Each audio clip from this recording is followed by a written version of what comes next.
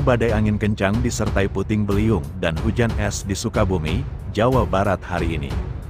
Hujan disertai angin puting beliung, hujan badai, merusak puluhan rumah di sejumlah wilayah Kabupaten Sukabumi pada Minggu tanggal 29 September tahun 2024.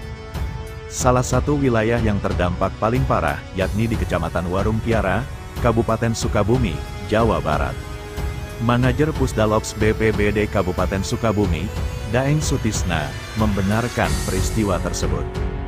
Beliau mengatakan peristiwa hujan badai terjadi sekira pukul 15 waktu Indonesia Barat, Minggu, tanggal 29 September tahun 2024, hingga menimbulkan banyak kerusakan bangunan bahkan salah satu rumah warga ambruk rata dengan tanah. Tak hanya itu sejumlah wilayah di kota Sukabumi juga dilanda hujan es tak lama kemudian dibarengi dengan angin kencang. Seperti yang terlihat dalam video amatir detik-detik badai angin kencang menerjang sejumlah wilayah di Sukabumi, peristiwa tersebut membuat warga terkejut dan berusaha menyelamatkan diri ke tempat yang aman. Nampak juga hujan badai itu membuat kerusakan puluhan rumah yang tersebar di sejumlah wilayah di Kecamatan Warung Kiara.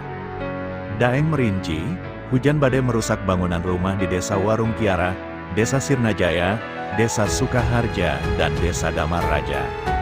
Tak hanya merusak rumah, hujan deras disertai angin kencang itu juga membuat banyak pohon tumbang yang menutup akses jalan kabupaten dan desa.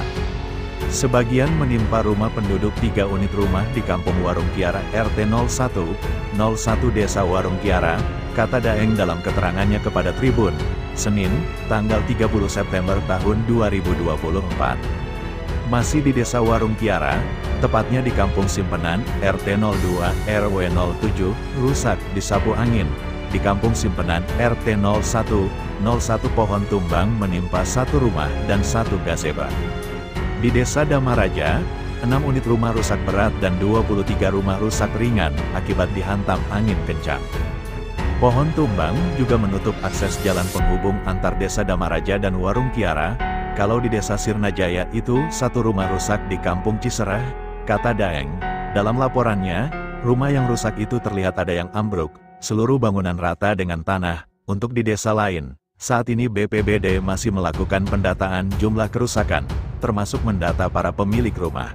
Tidak ada korban luka maupun jiwa dalam peristiwa tersebut, ucap Daeng.